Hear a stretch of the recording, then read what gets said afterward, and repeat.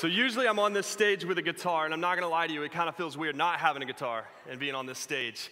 Um, so I wanted to kind of share with you how I got here without a guitar, as many of you are probably wondering. Uh, so Pastor Brad, Pastor Brian, Pastor Jose, and myself were sitting in a, in a meeting a few months back, and we were talking about the upcoming sermon series. And we were praying and we were asking the Holy Spirit, Lord, just put on our heart what the series are going to be. And we spent time in prayer about this, and we came into this meeting and we said, you know what, we're going to tackle the topic of love in February because it's the month of love, right? We got Valentine's Day. And so we decided that that's the direction we were going to go. And we were going to talk about marriage specifically because in today's society, the church needs to be talking about marriage. Amen? So we're sitting there and we're talking, and I, I kind of spoke up and I said, hey guys, I said, can we just do one thing? This is all I asked. I said, I love the idea of talking about marriage, spending a whole sermon series on it. But I said, can we just make sure that we talk about singleness? Because I'm the only single pastor. And so sometimes I feel the weight that not necessarily our church, but the church as a whole tends to cater a lot of times towards married couples, right? So we have our potluck dinners that we have for marriages. Um, we have, you know, sermon series. We have events. We have date nights and all these things. And so I said, I just want to make sure. And they were totally on board. They were like, yes, let's do this. Let's not be the church that leaves out that group of people. And I myself am in that group of people. But what happened was, is everybody got quiet for a second. They all kind of nodded with me. And then one by one, they began to turn and look at me. And there was about a 15 second period, and that's all it took for me to go, that's exactly what I'm talking about. We get singled out, pun intended. Like, come on, you know? but they said, you know what, why don't, Stephen, why don't you preach this message? And I said, good, because I've been practicing this for a while. So let's go. I'm qualified for it. But I'm so excited to be here with you this morning, and I'm excited to be talking about singleness and and so what, what I want to do is um, I want I have a rose here, and I'm going to pass this to you here, and I'm going to ask that you just look at it for a second and then pass it along. And what I want to do is I want to pass that rose all throughout my talk, and I want everybody to get a chance to look at it. So put that aside. Let's move forward. All right, I'm going to pray for us, and we're going to dive into God's word this morning. Father, we love you, and we're just excited to be here, God, in your presence. We're excited to be able to come here together as a church body, as the body of Christ, to worship your name and say that you are holy. And Lord, I just ask that you be with us during this time, fill our spirits during this time, give us open ears, open hearts to what you have to say. Let my words not be my own, but of your Holy Spirit, Lord. We love you and we praise you. It's in your name we pray. Amen. So, for those of you who know me, I'm Stephen. I'm the youth and worship pastor here at HCC, and I come from the great state of Georgia. Come on, y'all. Come on. So, you're going to hear me say y'all a lot in my sermon. Um, but I come from the great state of Georgia. I lived about 45 minutes south of Atlanta. And for the past five years, I've owned a motorcycle. And I rode my motorcycle in Georgia, and I had this rule. I lived on, anybody ever driven through Atlanta? Okay, so you know how crazy it can be. I lived on exit 47, okay? Next up was 49 if you're going northbound, then 51. That was my cutoff zone for my bike. I said, I'm never gonna go past exit 51 because once you cross 51, you're starting to get towards, towards Metro, and it was just a dangerous zone to ride a motorcycle in. So I lived my life in Georgia saying, I'm just gonna stop at 51. The entire time I was there, never crossed 51 on my bike. I came down to South Florida and I brought my motorcycle, and I tell you what, I thought I knew what crazy driving and roadways looked like. and then I moved down here. And let me tell you, you guys here have made Atlanta look like the kiddie track at Disney World. really. And so, uh, so one night I get down here and I just got my motorcycle. And I was like, you know what, I'm gonna take a ride. I'm gonna go. It's a beautiful night. We don't get to ride motorcycles in Atlanta in December. And um, so I said, you know what, I'm gonna go for a, for a ride up to see a friend in West Palm Beach. Uh, first mistake. Um, so I get on my motorcycle. It was about nine o'clock at night, and I go down Sheridan Street. I get on North 95, uh, and immediately within 30 seconds, I felt regret and I look around and I literally started to verbally say in my helmet, Jesus, be with me because I'm not gonna make it. I'm not gonna make it to West Palm Beach. This is a horrible idea. What was I thinking? Like, what was I thinking? I should know better. So I took all those years of practicing not going past exit 51 and just threw them out the window. And so I'm riding up to West Palm and I'm sitting there and I'm going, Lord, protect me. Blood of Jesus be over me.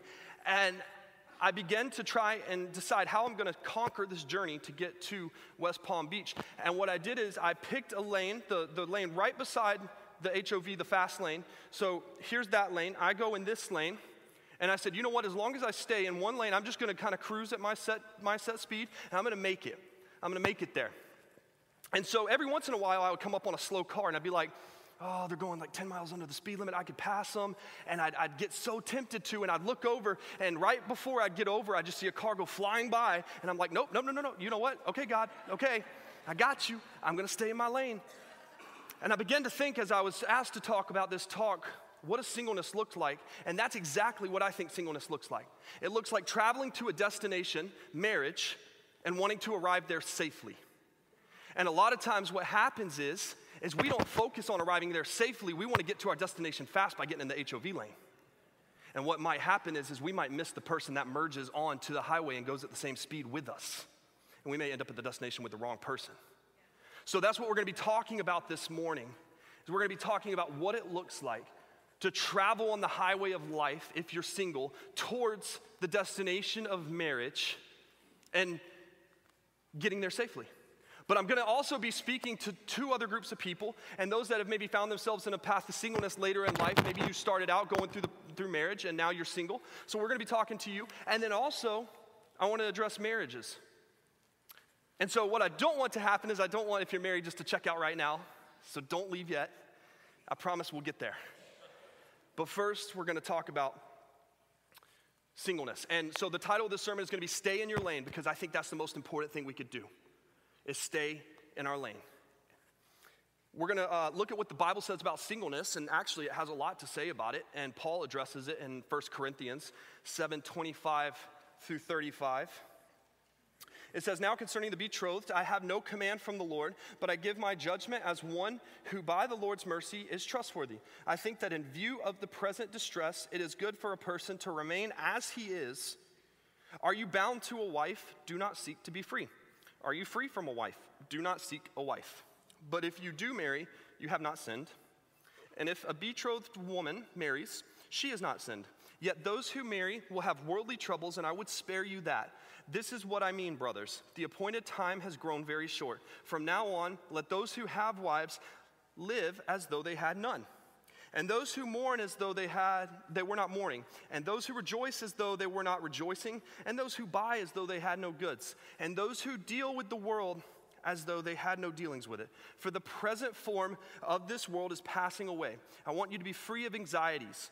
The unmarried man is anxious about the things of the Lord, how to please the Lord, but the married man is anxious about worldly things, how to please his wife.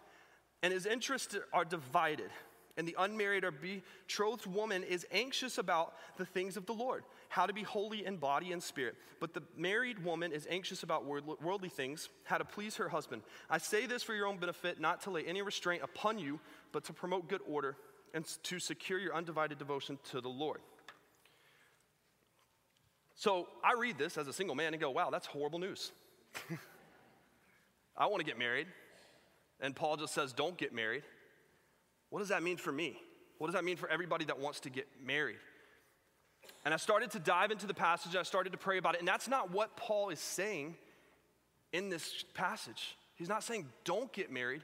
The key that we have to tune into is the very last verse, which says, Secure your undivided attention on the Lord, devotion to the Lord. That's what this passage is about. It doesn't say, you know what, Stephen, you have a passion, you have a desire to get married one day. Don't go chase that. What it does say is when you chase that, keep Jesus in the focus. Don't just bypass God and find who you want, find who Jesus has for you. And so you see, so many times in life, people get it wrong. Uh, we, we go through and we list off who we want, right? So there was a website called Match.com that was created. It was one of the first big dating websites. And they had an algorithm where you go in and you put everything you want. You put what color hair of the future relationship do you want? What color, you know, whatever, eyes. And then it shows you these matches, and hopefully you find somebody you're compatible with, and you know, you pursue a relationship via finding them online. And it wasn't working, and they did a study, and it was showing that people didn't make it past the first date.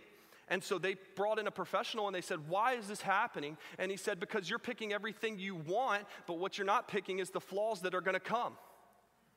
And you see, we, they were so focused on who they want, they forgot that people have baggage, people have flaws.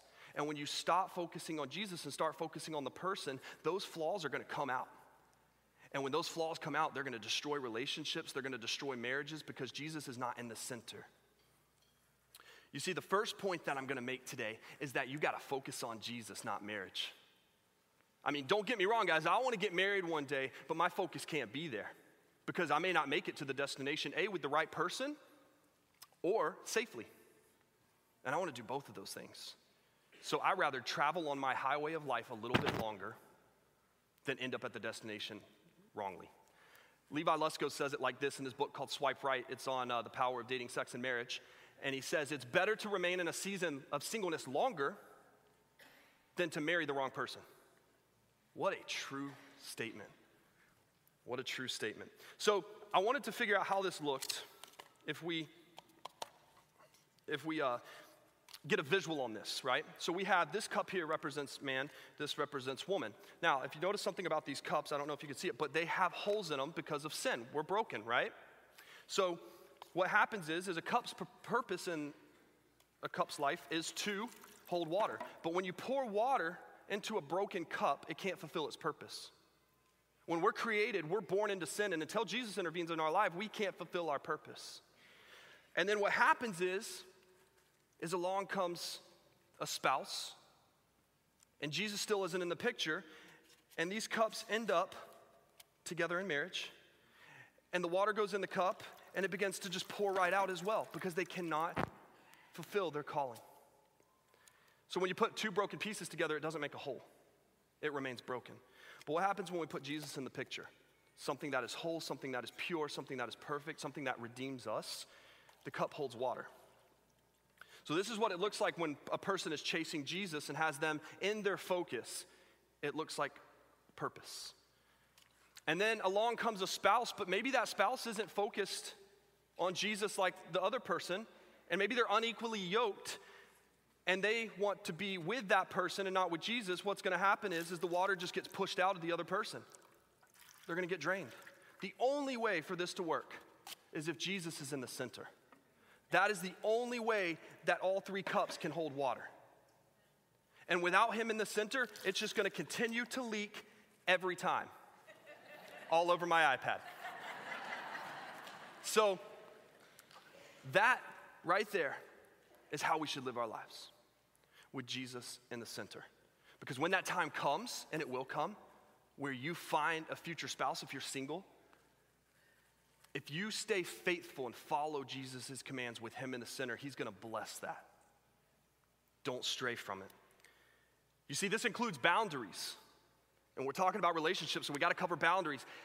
The Bible defines them very clearly in 1 Corinthians 6:18 it says flee from sexual immorality. Every other sin a person commits is outside of the body but the sexually immoral person sins against his own body.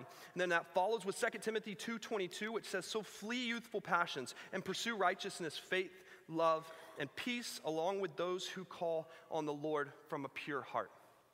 Notice that last part right there. Those who call on the Lord with a pure heart that's what this looks like. He's saying, flee from keeping me out of the picture. Flee from sexual immorality. Don't go down that road. So many people today are having troubles in relationships, and then you sit there and you read that passage and they're not even living that. And so typically what will happen is, is people turn to God and say, God, just please, like, help me, help me. I love this person. I want to be with them. And then you look at their history together, and they're not even honoring God in their relationship. How is he going to bless something that he's not being honored in? And so we have to, as we're engaging in relationships, focus on 2 Timothy 2, uh, 2.22 and focus on 1 Corinthians 6.18. And we have to get away from sexual immorality. And we have to keep Jesus on the focus. These cups are a representation of what that looks like, that brokenness, that sin. And again, it just won't work. It'll always leak. So, what does that exactly look like? The brokenness, the sexual immorality. Um, some of you might have seen these X's on my hands and know I was not at a club last night. Um, just wanted to clear that up before I don't have a job on Monday. No, I'm just kidding. Um, so, so I, I drew these on my hand because recently there's a, there's a movement called End It Movement, and it's to bring awareness to modern day human trafficking. And there's 27 million people right now that are enslaved in captivity that are being human trafficked for labor and, and sex. And we have the privilege of living in South Florida and don't always see that view. So, this movement is dedicated to bringing awareness and raising funds to combat human trafficking. And I couldn't help but think, because this day, launch day of this movement, the, the, the whole like anniversary of it was the other day. And so I drew the X's on my hands, and um, everybody's taking pictures and putting them on social media, and it's going all over the nation. And I couldn't help but think, wow, this relates to my message because that is what the Bible warns us against. Flee from sexual immorality. What if everybody in the world began to put their focus on Jesus? Now, that's our goal. That's what we hope happens. But it would look like 27 million people having freedom, not in captain, not being captive. You see, when we begin to focus on Jesus, we begin to reciprocate his love. And I can't imagine that anybody would not want the love of Jesus in their relationship because Jesus defines love in 1 Corinthians 13, 4 through 8, which we talked about recently in our series. But it says, Love is patient and kind. Love does not envy or boast. It is not arrogant or rude. It does not insist on its own way. It is not irritable or resentful. It does not rejoice at wrongdoing, but rejoices with the truth. Love bears all things, believes all things, hopes all things, endures all things, and love never ends. As for prophecies, they will pass away. As for tongues, they will cease. As for knowledge, it will pass away. Who doesn't want that love? I mean, that is the love that Jesus has given us. It is kind, it is patient, it's not angry. That's the love that I want in my future marriage. But I'm not gonna get there unless I'm keeping the one who gives that love in my focus. And I'm not gonna be able to give that love if I'm not keeping him in the center. You see, when we begin to look more like Jesus in the Christian walk, we begin to act more like Jesus. And in, in turn of that, we begin to reciprocate more like Jesus. And that love begins to flow out of us. and It'll flow out into our marriages, into our relationships, into our workplaces, into our friendships. It'll flow out into Hollywood. That's what the focus has to be. So then, that's, that's my spill on singles. But let's talk about what about if you find yourself single after being married? Maybe it, maybe it happened through death, maybe it happened through divorce, and you are broken. You're broken. You don't think that you ever want to pursue marriage again. You're, you're hurting, and you just feel done. Um, wherever that rose is, Brad, could you grab, could, whoever had the rose, could you just hold it up for me real quick? And Brad, could you, oh, it's right over here. Could you, um, if Brad, if you'll bring me that rose. Uh, so you just feel like it's over, it's done. You lived your time, you did your time in marriage, you did your time, and now you're single. Um, so, what does that look like? When we passed this rose around, um, it was whole and it was beautiful. It had purpose. And I'm getting it back to me, and there's petals falling off. What did y'all do to my rose? This is a representation of what man does. Takes what is whole and continues to break it. And I'm not saying men, so ladies, don't start cheering yet because I'm talking about humans do this, not just men. It's humans that do this. They take what is whole and they rip it apart. But according to Psalm 34 18, I serve a God who says, The Lord is near to the brokenhearted and saves save those who are crushed in spirit. Now, that's awesome. I love the fact that Jesus and, and God tells us that in this psalm, the Lord is near. It's, he's near. But see, God does this incredible thing where He takes it a step further. And in Psalm 147 3, He's not just near, He heals. He heals the brokenhearted and binds up their wounds. He takes this, and when you put your focus on Him, when you put your contentment in Him, when you say, God, you know what? You're all that I need, and I'm trusting you with my brokenness. I'm trusting you with my shattered heart. I may have been through a lot of pain, but it's yours and I'm turning it over to you. He puts this aside and he turns it back into something new and something beautiful. He gives it purpose again. So don't think that God is a God that can't fix your pain because he defeated death. I mean, we're doing God an injustice if we're saying, yeah, you can defeat death, but I'm not going to give you my broken heart. Jesus will heal you. And you will have hope, and you will maybe find love again, maybe not. But you have to find your contentment in Jesus Christ. And when that happens, everything else is secondary. Everything else is secondary. People are gonna let you down, they're gonna fail you, but you can have a relationship with somebody that literally will never fail you, always comfort you, always be there, promise to heal your broken heart no matter where you're at in life. So, my second point is this that Jesus heals the brokenhearted. That's not something I came up with, that's what Scripture tells us. So, it's a promise, it is true. In my life, I've had many, I haven't been married, but I've had relationships fail. And in those moments, man, I just, I felt weak. Um, I felt broken. And I didn't know where to turn sometimes. But when you're at rock bottom, I like to look at it like this when you're climbing the climb of life and you fall and you hit rock bottom, Jesus is going to be the only one that continuously reaches his hand down and says, Come on, get up. We can do one of two things in that moment. We can decide we're going to lay there and just bleed out. Or we can say, you know what, I'm going to take your hand, I'm going to get up, he's going to help us back up on that mountain, and we're going to start climbing again. We have to make that choice just to surrender our pain, surrender our suffering, surrender everything to Jesus, and find our contentment in him. It doesn't matter. I mean, it just, there's so much tragedy in today's world. So much tragedy. But we have the hope of Jesus. So, the last thing I want to talk about, I want to talk to married people. I promised I wasn't going to leave you out. So, here we go. You might have listened to this entire talk and go, Stephen, that's great, but I'm already married and uh, we're not focusing on Jesus. Let me tell you how to get there. Maybe your spouse isn't a Christian. Maybe they're not interested in being a Christian. What do you do? That starts on your knees, turning that person over to Jesus. We just saw the promise that He heals the brokenhearted. He has the power to redeem any soul. You got to give it to Him. You got to be on your knees fighting for that person, fighting for your spouse. I'm not saying that if you're in a marriage and they're not loving Jesus right now, don't break the commitment of marriage. Get on your knees turn that person and push that person towards Jesus. Don't pull them towards yourself, push them to the Savior. If you push them towards, your, towards the Savior, you're doing everything you can. And it may be the hardest journey you go down. But do it because it does work. And we put the people in God's hands, and He's the one that can restore the broken heart. So maybe you say, Well, Stephen, we're, uh, we're married and we haven't been keeping Jesus in the center of our marriage. That brings me to my third point start today. That's it. It's so much more simple than we have to sit and think and, and we reflect on it and we go, man, this is tough. And I get it. I'm sure there are a lot of just heartaches going on in this place. There's a lot of brokenness going on in this place. But again, we serve a God that promises in Psalms that He will heal it. But we have to start today. We have to take the action.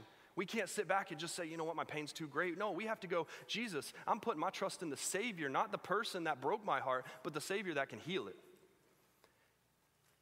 So there's two things really that you can do in a marriage that I think will help solve this problem of not keeping Jesus in the center right now. And I think the first one is, like I said, get on your knees. Start praying. Start pushing them towards Jesus. Surrender them to Jesus. Give, their bro- give your brokenness to Jesus. The second thing is continue to date your spouse. And ladies, can I please get an amen? Seriously, guys, though, for real, continue to date your spouse. And here's why, especially as Christians, what is the goal of a Christian? Is to look more like Jesus every day. Well, if I'm looking more like Jesus every day, then I'm looking less like myself every day, right? And if I'm sitting there and growing in my commitment with in my relationship with God, and I'm changing daily and I'm not intentionally dating the person I'm with, I don't want to wake up one day and look over and see a stranger. And if they're not walking to Jesus with you, then that's a whole other problem because you will wake up one day and maybe look over and see a stranger. So, but when you pursue Jesus together and you intentionally date your spouse and continue to get to know them, you may think, oh, I already know everything about them. That's today. But what if they learn something about Jesus tomorrow?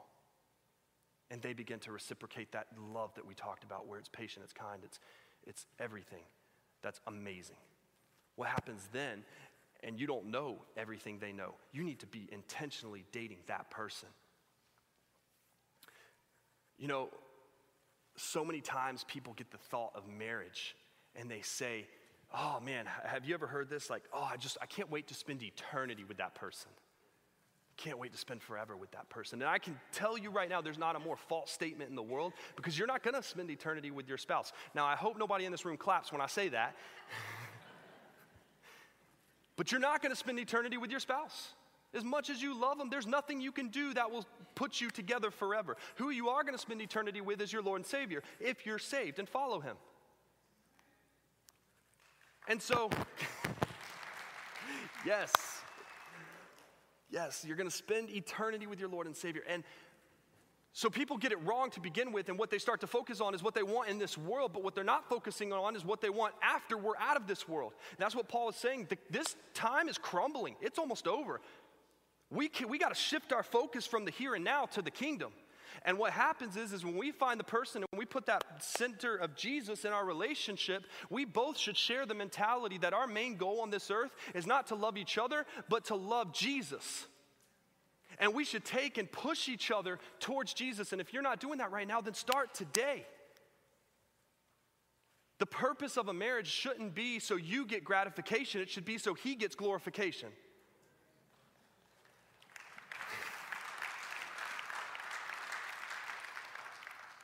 The main purpose of a marriage should be this it should be that you and your spouse are here to expand the kingdom of God together because that's where we're going to end up with our Savior. And if you don't do that with your spouse, start today. Start putting Jesus in the center of your relationship today. We just sang a song, and the worship team is going to come out and they're going to lead us in a song again that we just sang. And it's such a perfect example. And it's crazy how God works because this is total God moment. I didn't pick this song for this sermon, I saw it after. But what a perfect example that says we will build a firm foundation on your love, Jesus. That's not my future wife's love. I'm not going to build my foundation on her. Jesus tells us in Matthew that we have to build our house on rock, not sand. We build our house on sand. We build our marriage on sand. It's going to blow away at the first storm. We build our marriage on a rock, on the foundation of Jesus Christ, who is the rock. It's going to withstand everything. We have to start today. We have to build a firm foundation on the love of Christ. So that way we can begin to look more like Him. We can begin to give that love to our future spouse or to our spouse now. And so, what I want to do is I want to I want to challenge each and every one of us. Because no matter what we talked about today, there's, there were three things that I mentioned, three groups of people that I addressed, and I promise that every single person falls into one of those categories.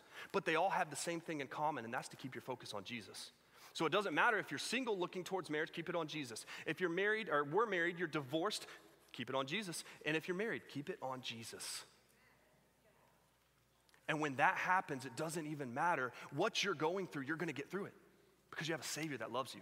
So I want to challenge everybody in this room, no matter what stage you're at, start today. If you've been lacking, if you've been slacking, just start today. And so we're gonna, what we're gonna do is we're gonna go into this song, Build My Life. And man, like I said, what a great, great song for this because it's talking about building your foundation. And I want to just encourage you if you feel led, the altar's going to be open. Come down, get on your face. We talked about it starts on your knees. Let's let's do it. Let's do it today. But here's another thing. You can't get on your knees and turn it over to Jesus if you don't know him. So maybe you can't put Jesus in the center of your marriage because you don't know him or your spouse doesn't know him. And you're sitting here going, Stephen, that all sounds good, but I don't even know this person you're talking about. I don't even know the very Savior that you're talking about heals the brokenhearted. Start today. Start today. Let the love of Christ come into your heart if you don't know Him. And let the joy, the love we talked about, that is patient, kind, doesn't get angry, doesn't envy. Let that love begin to form in your heart and overflow into your relationships. So we're gonna have, I mean, Brian's gonna be up here, Pastor Brad's gonna be up here, I'm gonna be, we'll, we'll just be down here hanging out. And you guys just come on, pray with us. Get on your face, give your brokenness to Jesus. Or maybe your, your marriage, maybe you should come up here with your spouse and just say, and maybe, maybe you're living it right on. Maybe you're like, Jesus is at the center. Still, get on your face. Because nothing bad can happen when we just continue to turn our lives over to Jesus. So the altar's gonna be open. I just encourage you to come and we'll pray together and we'll just turn everything over to Jesus and keep our focus right on Him. Let me pray for us. Father, we love you. And God, I just lift up each and every person in this room, Lord. You know their situation, you know their brokenness, you know their heart. And Lord, I'm just asking that in this moment, Lord, that nobody hesitates to start today. That we let this be the beginning point, the starting line, Lord, of the life that we're going to run towards you. Lord, we ask that you just heal broken hearts. You restore broken hearts, God. We put our trust in you, we put our faith in you. Lord, we love you. It's in your name. Amen.